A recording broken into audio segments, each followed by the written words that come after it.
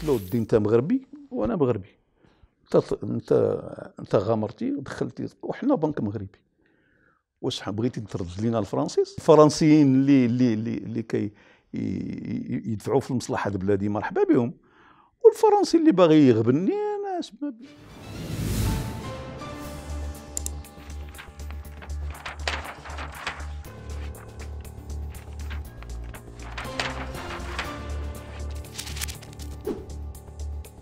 مشاهدينا الأعزاء أهلا بكم.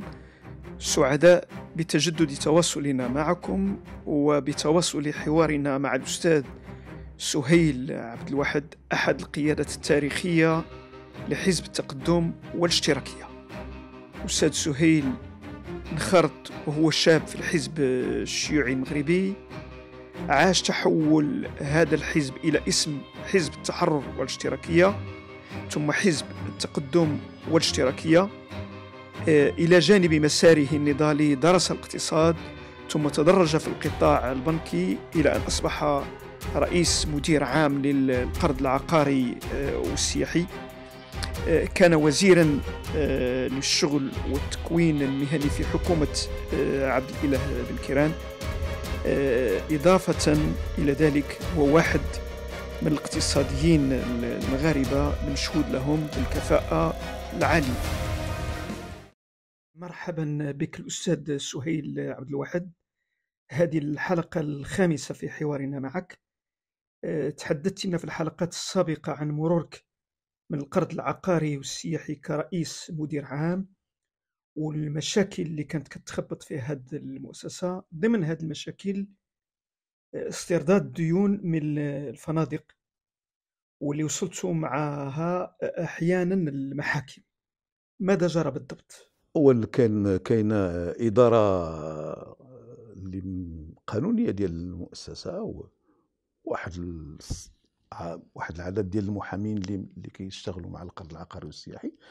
قبل ما نجي أنا كانت بداو واحد عدد ديال الإجراءات ديال المتابعة ماشي غير كاين منعشين عقاريين كذلك فيهم منعشين عقاريين خواص اللي ربما تعرقلوا المشاريع ديالهم ولا وقعوا وقعوا فيها مشاكل. القطاع العام كذلك ذاك الوقت كانوا دوك اللي كيسميهم لي زيراك المؤسسات الجهوية ديال ديال اميناجمون ديال اللي كتعمل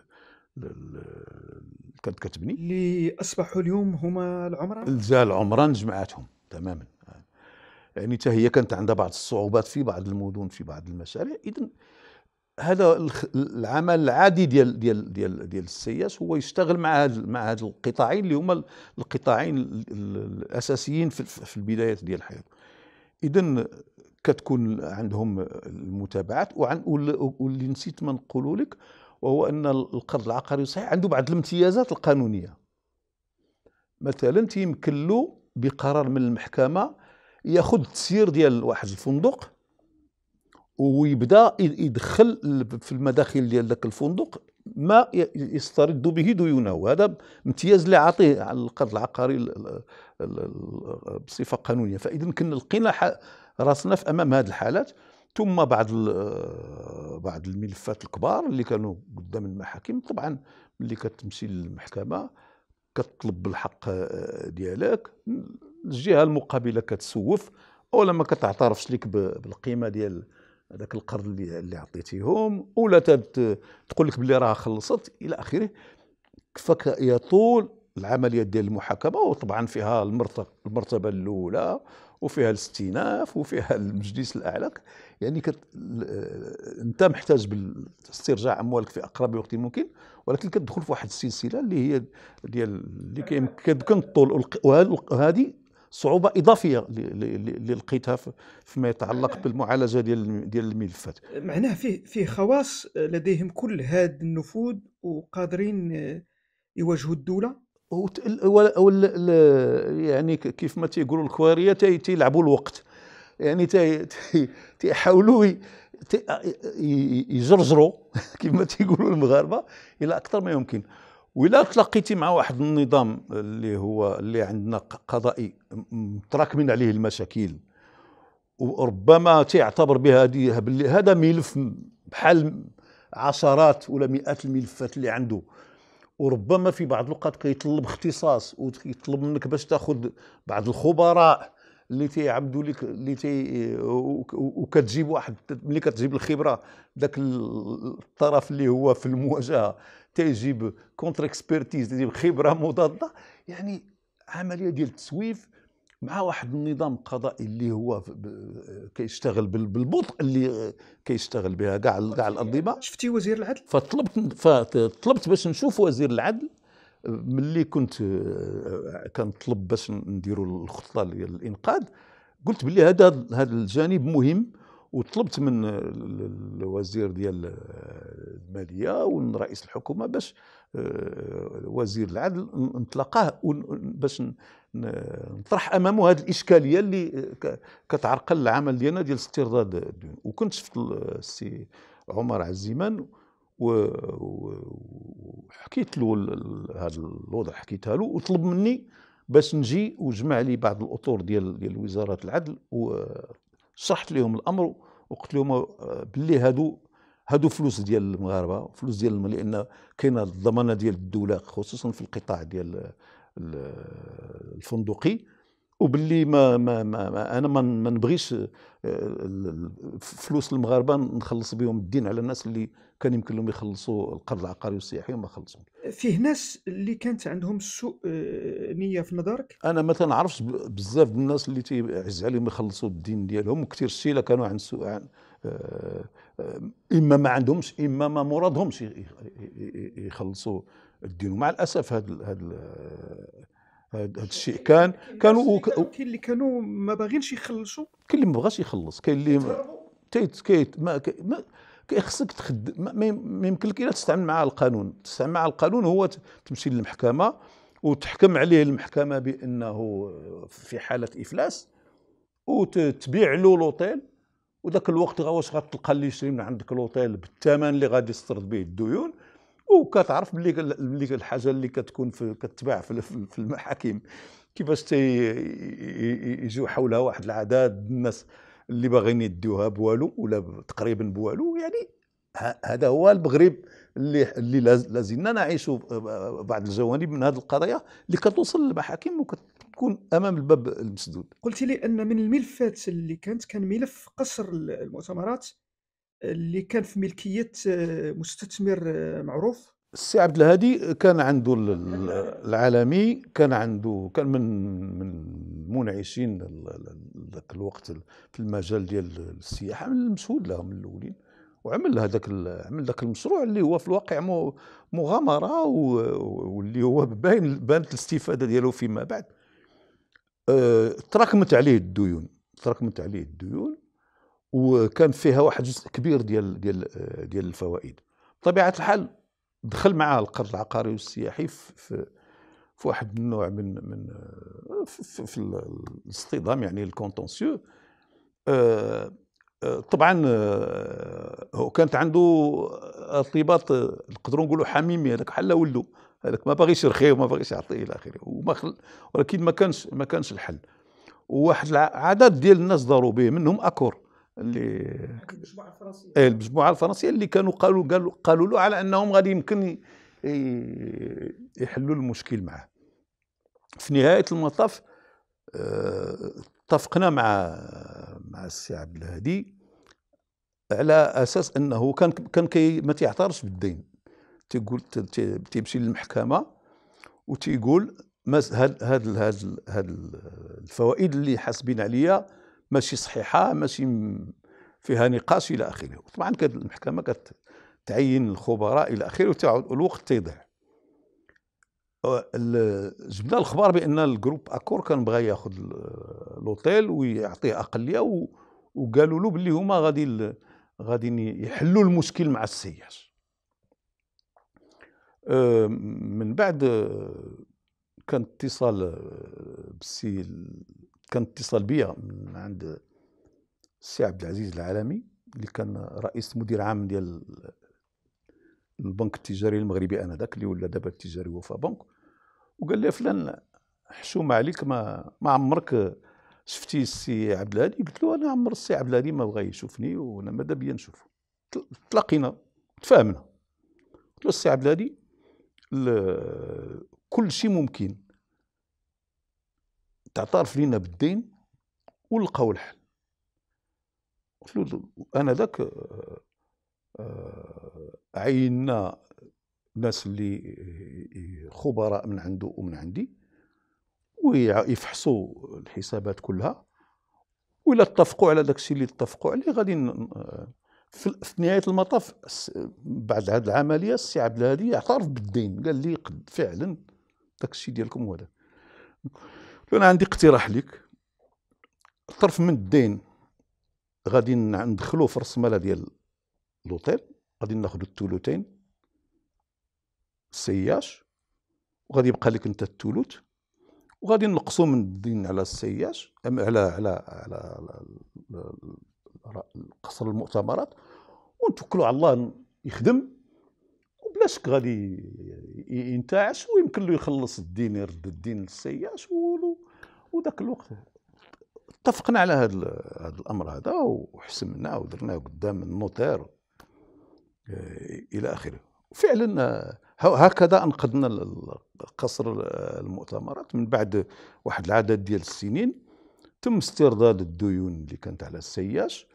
ال CIH باعوا la CDG وجاب الله التيسير ربح فيه الفلوس. وربما هذه من أهم العمليات اللي اللي اللي, اللي كانت في المسار ديالي لا في ال CIH وربما مسار ديالي المهني فيه أسماء أخرى اللي وصلتوا معها الحلول؟ بعض بعض بعض الحلول ديال إعادة الجدولة ديال آه، تطويل المدى المدى ديال ديال آه، بحال هكذا.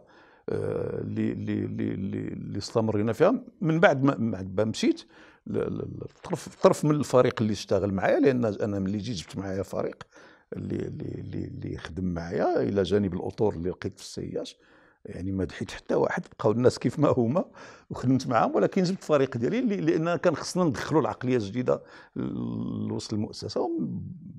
لقينا صعوبات ولكن ربي جاب التيسير. ملي جا السي العلج استمر في الطريق ومع بقاو معاه الناس اللي اللي اللي خدموا معايا والحمد لله الحالة ديال السياش اليوم حتى بعد ما جاوا الاخرين لقاوها واقف على رجليه ويتطور كنتمنى له كل الخير. قلت لي أن مجموعة أكور كانت تريد الاستيلاء على عدد من الفنادق وأنها كانت باغا تستغل الأزمة. هما جاوا للمغرب باش ياخذوا واحد العدد ديال الفنادق. كانوا ذاك الوقت يعني جاوا على أساس أنهم هما أكبر مجموعة في العالم وبأنهم عندهم آه، خبرة واتفقوا مع المكتب ديال السكات الحديديه اللي كانوا عنده بعض الفنادق اتفقوا مع بعض الخواص وعملوا واحد العدد ديال الاوتيلات آه، أكور. وكانوا طبعا قصر المؤتمرات في مراكش ذاك الوقت يعني كان من غير باستثناء المامونية. آه، ما كانش شي أوتيل اللي عنده ديك المواصفات اللي اليوم تبارك الله مراكش عندها أوتيلات من أرفع الطراز وأجمل الطراز اللي اللي موجود والتطور ديالها الحمد لله على أحسن ما يرام. قصر المؤتمرات كان يسيل لعابهم؟ طبعا. قصر كان كان هو الكبير وعنده قصر المؤتمرات لأن الفكرة ديال باش جعل من مراكش مدينة ديال ليفينيمونسيال ديال المؤتمرات فكرة جات من رأس مغربي من عبد عبد الهادي العالمي. ولان كان ونعشت المدينة بدلت الملامح ديال آه، ديال المدينة. فبطبيعة الحال آه، اللي غادي يجي ياخذوا وياخذوا فابور لأن غادي ياخذوا بلا ما يخرج فرانك من عنده ويجيب سميتو ما يمكن إلا يطمع في هذه الحالة هذه قدرتي تقنع عبد الهادي العالمي؟ وتفشل الخطة ديال Accor ديال المعنى ديال الفرنسيين. له الدين انت مغربي وأنا مغربي. انت انت غامرتي ودخلتي وحنا بنك مغربي. واش بغيتي ترد لينا الفرنسيس؟ الفرنسيين انتقموا منك فيما بعد؟ أنا ما نعرف الفرنساويين واش انتقموا مني ولا ما انتقموش. أنا ما عندي علاقة بهم أنا أنا أنا الفرنسيين اللي اللي اللي, اللي كي يدفعوا في المصلحة بلادي مرحبا بهم. والفرنسي اللي باغي يغبني أنا ما بيني وبين قلت لي أنه بعد ثلاث سنوات سيتم آه، آه، إعفاؤك. الوزير المالية وزير المالية هو اللي تم الإعفاء تم خبرني بالإعفاء ديالي فتح الله والعلو. كنت أنا ذاك النهار في الصباح كنت كان عندي مجلس إداري في ديال لأن كنا مساهمين في البنك الشعبي. وكنت حاضر فيه أنا وأنا كان جالس حدايا سيدي خالد القادري اللي هو كان مدير عام ديال القرض ديال ال CDG ديال صندوق الايداع والتدبير. وحضرنا الاجتماع وطلبت من من خالد قلت له أجي ما تمشي للرباط يلا تغدى معايا. قال لي لا عندي شي شغل غادي نمشي إلى آخره. من بعد في شي جوج عيط لي في التليفون سيدي عبد السي فتح الله. قال لاباس أش أخبارك؟ لاباس. قال لي السيد ناس قبل اليوم المدير الجديد ديال القرض العقاري والسياحي قلت له وفي نعمة ما فعل سيدنا والله يعاونو والله يجازيه. قال لي واش كتعرف الصداقة اللي بيناتنا؟ قلت له أنا كنت نعرفك عاد اليوم فتح الله حنايا من زمان ملي كنا طلبة وحنا كنتعرفوا و سيدنا خدا منو شكل القرار المناسب و, و... أنا نمشي نقلب على راسي. انت في السابق كنتي في ال BMCE كنت خدام في la BMCE أشنو المفروض ترجع ليها؟ هاد هاد المشكلة هاد المسألة ما تمش البت فيها. لأن حكيت لك الظروف اللي اللي اللي فيها تسميت و أنا ليلت اللي ملي عيطوا لي قالوا لي سيدنا غادي يستقبلك غدا خاصك تجي في الساعة الفلانية. قلت للسي عثمان بن جلون السي عثمان بلا شك أن تمت الاستشارة معك وفي علمك أن جلالة الملك بغاني نكون في, السياش. قال لي إيه؟ قلت له واشنو رأيك؟ قال لي كيف؟ ما كيفاش يمكن لي نجاوب جلالة الملك؟ ما يمكن لي الا نقبل قلت له على كل حال أنا راه الأمور ديال الخطة بالنسبة للسنة المقبلة راها في الدينها راها مهيئة وراها راه الإشارة وأنا راه الإشارة ديالك إلى اخره عمل لي حفلة اللي حضر فيها رئيس المدير العام الحاج عبد المجيد واحد العدد ديال الزملاء اللي كانوا تما اللي خدام معايا وعمل خطاب وعمل السي بن جلون كذلك. كان داك الشيء مؤثر و و ال CIH جا قبالت la BMCE في, في, في, في الشارع الحسن الثاني يعني كتمشي واحد 20 متر وكدوز كدوز كدوز لبنية أخرى. معناه مشيتي على على رجليك؟ فعلا مشيت على رجلي من هنا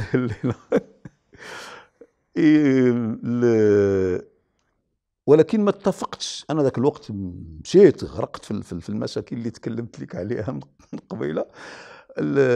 ما فكرتش مع مع السي السي بنجلون نقول له ما العمل؟ يعني شنو واش غادي نمشي détaché في الاستعارة ولا غادي غادي نمشي في حالي واش غادي نمشي نمشي التقاعد المبكر. نهائيا ما هضرناش في هذا الموضوع مشيت تنخدم. ما عاودتش فكرت في la BMCE نهائيا. ملي ما بقيتش في, في ال CIH و la BMCE كانت عضوة في المجلس الإداري ديال ال CIH. ملي ساليت من هذاك الشيء اتصلت بالسي عبد المجيد كتبت ليه السي عثمان كتبت له رسالة. تنقول له المهمة ديالي انتهت في, في, في السياس ودابا بغيت نعرف نتلاقى بك باش نشوفوا كيفاش المستقبل ديال الوضع ديالي في علاقتي مع la BMC. من بعد شي شهرين آه، قال لي أجي عندي مشيت لعندو. شهرين بزاف لا؟ هو السي السي عثمان مشغول و تنا... أنا كنصبر الحمد لله كان عندي ما ناكل ذاك الوقت. لم امت جوعا. مشيت لعندو تناقشنا. قال لي خلي لي الوقت باش نفكر. كان ذاك الوقت أنا خرجت في فيفري وقيلا استقبلني في ماي. bon داز الصيف. من بعد كنتسنى الإشارة ما جاتش. عاود كتبت له رسالة. قلت كنقول له فيها باللي نبغي نتلاقاو باش أنا باغي نعرف راسي اش غادي واش اش غادي ندير. من بعد استقبلني و قلت له السي السي عثمان شنو هو العمل؟ قال لي حنا ما يمكنناش نكونوا بجوج الرؤساء في هذه البنكه قلت له ما كاينش جوج الرؤساء كنت انت رئيس أنا كنت موظف هذه كنت كنت مدير عام. آه، قلت له ولكني إلا بغيتي نمشي أنا راه دابا وصلت للسن ديال 55 سنة. كاين الإمكانية ديال باش نمشي للتقاعد المبكر وكاينة اتفاقية جماعية اللي كتشمل كاع الموظفين ديال البنوك وعندي الحق باش ناخذ التقاعد النسبي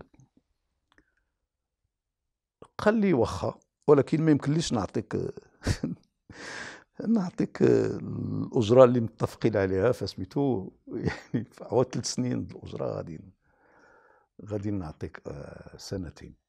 قلت له مبارك مسعود. يعني المهم أنك تعترف أن لك دين عندي. وكذا كان. على المستوى النفسي انت دوزتي حياتك كلها في هذا البنك هذا. ما بقاتش البنكة اللي دوزت فيها كانت بنكة بنك رقم جوج فيها. اييه ما كاين مشكل. أنا دوزتها ولا زلت افتخر شنو كنتي كتنتظر أن هذيك البنكة تتعامل معك بتقدير أكبر؟ أنا كبر أنا كبرت في لا بي إم سي أو اللي كانت فيها ثقافة ديال مؤسسة وطنية. وديال أنها تعترف لكل أحد بما قدم طبعا الراجل دار لي حفلة استقبال يعني أنا تنعترف. الله يربح الله الحمد لله. شكرا جزيلا الاستاذ سهيل عبد الواحد ونواصل حوارنا معك في حلقة قادمة.